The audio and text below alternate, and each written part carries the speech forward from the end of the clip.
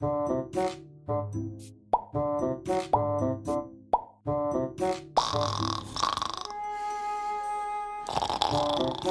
他妈的坑命要到什么时候？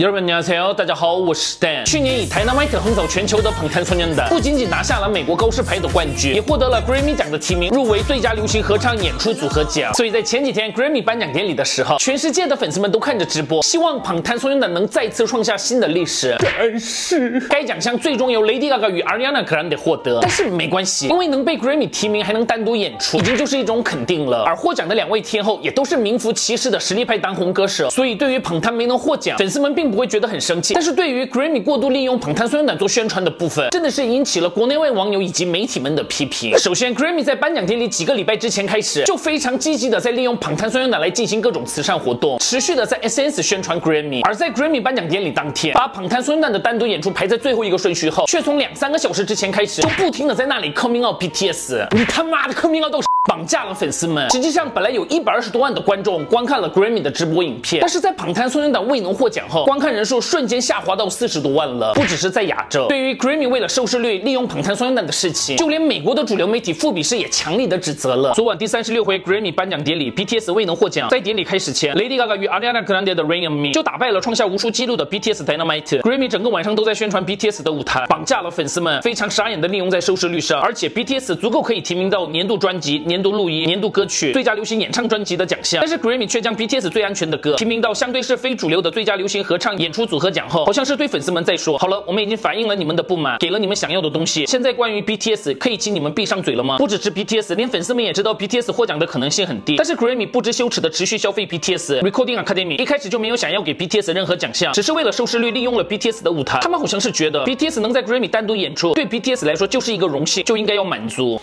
全世界有一百九十一个国家的一百多万观众付费看了 BTS 去年十月举行的现场演唱会。你觉得会有一百万人为了看 Grammy 从口袋中拿出五十或者是一百美金吗？最近被很多音乐人抵制的 Grammy，为了自己的面子，为了 Grammy 的权威，也需要更加肯定 BTS。但是就算不发生那种事情，BTS 以及 BTS 粉丝们也不必要太伤心，因为那只会让 Grammy 损失而已。所以不是只有粉丝们，就连美国自己国家的记者们也是觉得 Grammy 非常傻眼。不过生气归生气，现在好像也有很多没素质的粉丝们去 Ariana Grande 的 SNS 留言攻击比你厉害。你抢了 BTS 的奖什么什么的，真的是感到丢脸。如果真的想骂，你也要去骂 Grammy，干嘛要攻击同样是在努力的艺人呢？不是因为你喜欢一个人就可以把攻击别人的事情来合理化，你的那种傻眼行为只会让路人们对你艺人的好感下降。所以千万不要为了自己喜欢的爱豆去伤害别家的爱豆。总结一下今天的内容就是。下一个消息是，大家还记得之前 SHINee 成员米诺被一个小女孩问到为什么现在是四个人的那个节目吗？昨天 Super Junior 成员们也出演了这个节目，其中成员 Kyuhyun 被问到 Super Junior 有几位成员的内容，让网友们哭笑不得。我看起来像是做什么的人呢？公益其实是 idol 啊，害羞害羞。有几位成员呢？从十三个人开始后，现在是算是九个人。为什么？呃，有点复杂。我们来看一下韩国网友们的留言，是挺复杂的，非常。不过解释起来确实是很复杂，又好笑又伤心。不过现在的九个人就足够了。现在不管说成员是几个人，都会引起争议。说十个人，韩国粉丝们都会站起来；说九个人，忘不了层面的部分，海外粉丝们会闹起来。然后我们再看一下野生的片段。我一直说我自己是欧巴，但是叫我大叔也可以，只要不叫我呀就可以了。还是叫我爸爸，谢谢你。